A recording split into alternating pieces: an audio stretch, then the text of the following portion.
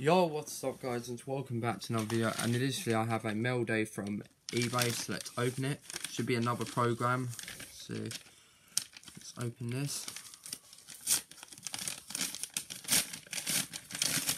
And it is oh yeah it is Gillingham versus Southend United program, which is very nice. This only cost me a pound, so I thought yeah why not. Uh, this is the Saturday 26th of August 2017 in Sky Bet League One kickoff at 3 pm. So, yep, here's the front, spine, and the back.